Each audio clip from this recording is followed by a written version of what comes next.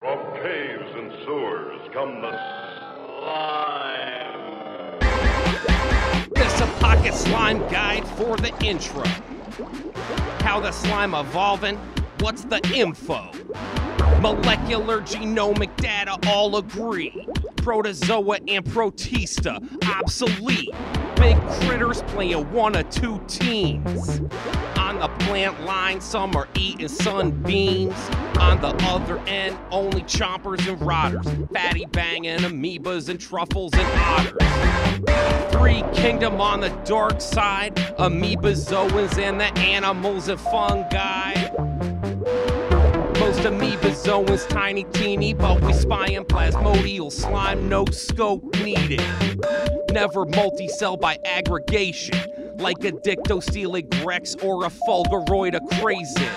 Spooky leukocyte size of a pizza, getting thick from duplicating nuclei, big amoeba, sloshing back and forth, solving mazes. No immotile mycelium stuck in places eating microbes and not doing the rot. Showing up in the juicy wood like hungry snot. On the lawn, the forest, the ice, the tropics. In the cactus or the snow and kaleidoscopic. Non toxic to your fish and your cat and your kid and your plant and your frog habitat. Mostly friendly to the fungus grown but some nefarious fungal connoisseurs are known. So if you see it, separate it and wait for fruiting.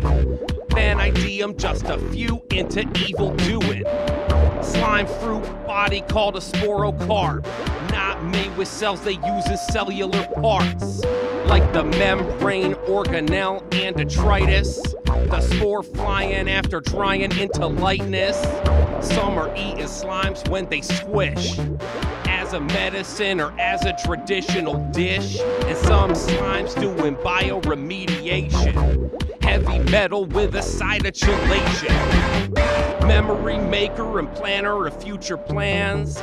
Computating transportation networks in Japan. No brain, just a pumping sack of guts. Some slime amoebas living inside the butt.